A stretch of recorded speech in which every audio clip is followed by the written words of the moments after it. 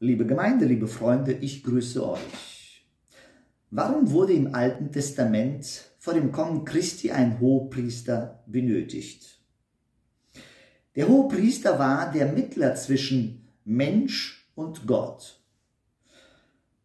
Alle Hohenpriester vor dem Kommen Christi, die waren äh, fehlbare Menschen. Das heißt, keine vollkommenen Menschen. Äh, deswegen waren sie auch keine vollkommene Hohenpriester. Der einzige, perfekte, tadellose Hohepriester war Jesus Christus. Wir lesen das in Hebräer Kapitel 4 ab Vers 14. Weil wir denn einen großen Hohenpriester haben, Jesus, den Sohn Gottes, der die Himmel durchschritten hat, so lasst uns festhalten an dem Bekenntnis. Also Jesus Christus ist hier der hohe Hohepriester. Was bekennen wir? Er ist heute der einzige, er ist heute der perfekte Mittler zwischen Mensch und Gott. Kein anderer Priester, Pfarrer, Prediger, äh, nicht Apostel, das sind nicht Mittler zwischen Mensch und Gott, sondern Jesus Christus allein. Das heißt, wenn wir beten, so beten wir durch Jesus Christus zu dem Vater. Und das ist ganz, ganz wichtig zu wissen. Es gibt keine Heiligen zwischen Gott und uns, zu denen wir beten sollen, sondern nur der Einzige, und das ist Jesus Christus. Der nächste Vers, Vers 15. Denn wir haben nicht einen hohen Priester, der nicht könnte mitleiden mit unserer Schwachheit, sondern der versucht worden ist in allem wie wir, doch ohne Sünde. Das ist das, was unser Hohepriester Jesus kann. Er kann uns verstehen, er kann uns mit, mit uns mitleiden. Weshalb? Weil er ja selber versucht worden ist oder durch Schwierigkeiten durchgegangen ist. Er wurde geprüft in allem. In welchen Dingen? Äh, er kam zu den Seinen und die Seinen nahmen ihn nicht auf. Das heißt, das eigene Volk hat, hat ihn abgelehnt. Äh, seine Brüder, seine Geschwister, Leibliche, die haben an ihn nicht geglaubt. In seiner Stadt, Heimatstadt Nazareth, da wo er gepredigt hat, wurde er fast gesteinigt. Entwich dem. Sein bester Freund Petrus hat ihn dreimal verleugnet. Ein anderer hat ihn für 30 Silberlinge verkauft.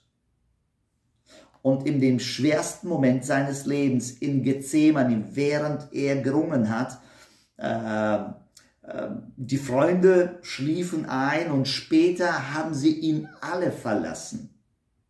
Einer hat sogar seinen Mantel fallen lassen und ist nackt davongelaufen, um sein Leben zu retten. Also, äh, Christus kennt die Schwierigkeiten nicht aus dem Buch.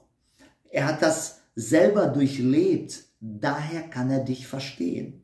Wenn du heute selber in dich in Schwierigkeiten befindest, welche das auch immer sind, dass du vielleicht sagst, mein Mann versteht mich nicht, äh, meine Kinder verstehen mich nicht, meine Geschwister verstehen mich nicht. Sehr oft stehe ich alleine, sie können gar nicht nachvollziehen, was das heißt, ähm, in der Lage zu sein, Einsamkeit. Christus kann dich verstehen. Das ist das, was wir lesen. Und das ist eine äh, wichtige Erkenntnis. Das heißt, jemand versteht dich. Und dann der nächste Vers, die Einladung. Darum lasst uns hinzutreten mit Zuversicht zu dem Thron der Gnade, damit wir Barmherzigkeit empfangen und Gnade finden zu der Zeit, wenn wir Hilfe nötig haben. Lasst uns hinzutreten mit Zuversicht zu dem Thron der Gnade. Zuversicht, das heißt, ich gehe hin in einer äh, Gewissheit, dass Gott mich hören wird. Und hier steht zu dem Thron der Gnade. ein sehr interessantes Bild, was äh, die Bibel hier verwendet. Äh, Thron ist ja, das kennen wir von Königen, also da, man geht ja zum Thron. Und hier ist ja nicht nur ein Thron, sondern Thron der Gnade. Gnade bedeutet, da darf ich empfangen, was ich selber nicht verdient habe. Und das ist interessant. Gnade ist ja das, wo ich weiß, ich, ich muss eigentlich zahlen, aber ich, ich bin mittellos. Und Gnade bedeutet, mir wird diese Schuld nicht zugerechnet. Wann kommen denn die Menschen zu dem Thron der Gnade? Sehr oft, wenn wir pleite sind, sehr oft, wenn wir in unseren Beziehungen oder äh, da, wo wir etwas lösen wollen, in einer Sackgasse stehen. Und das ist eigentlich ein, ein guter Grund zu sagen, Herr, ich erkenne meine Pleite, ich kann nicht weiter. Ich brauche deine Gnade. Vielleicht hast du dich verschuldet, also nicht nur geldmäßig, sondern Sünden getan. Und du weißt, wenn ich gerade stehen müsste, ich wüsste nicht, wohin mit meinem Leben.